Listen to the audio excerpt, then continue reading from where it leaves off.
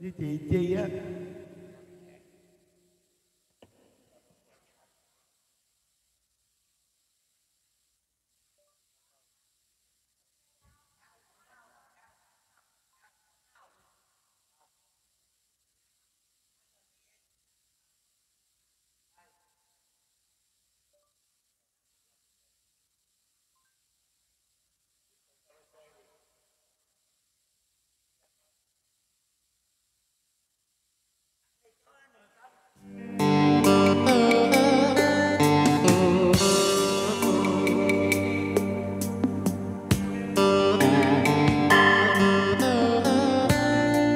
đúng không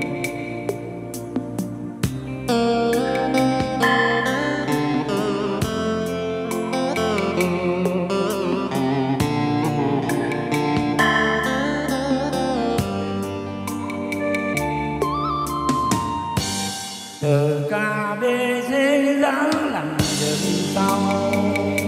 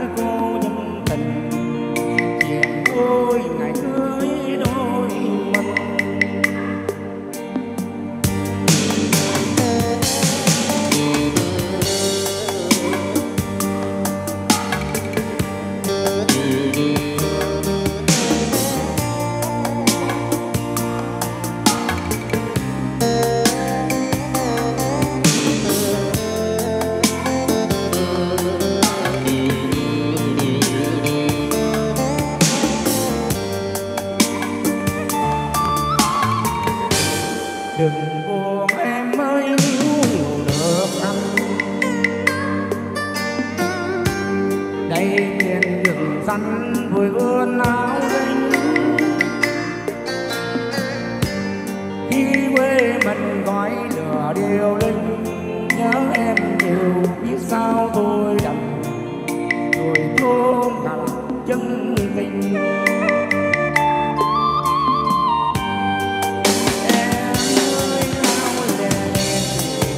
còn chinh chiến anh còn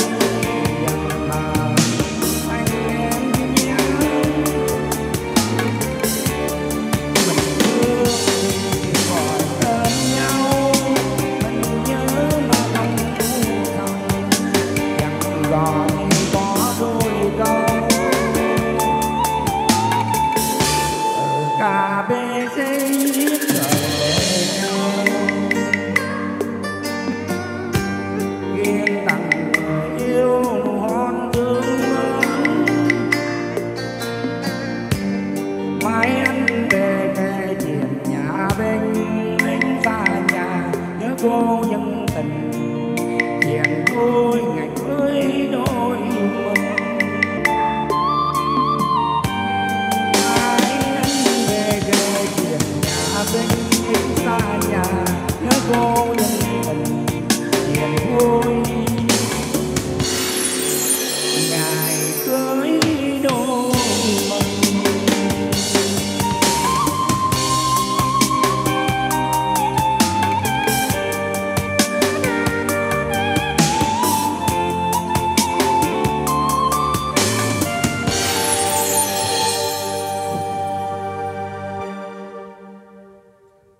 Vâng, xin cảm ơn chú Song Phước rất nhiều ạ. Tiếp tục chương trình xin mời anh Văn tới.